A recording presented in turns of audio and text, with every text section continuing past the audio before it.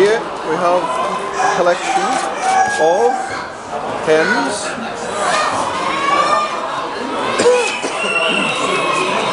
Australs.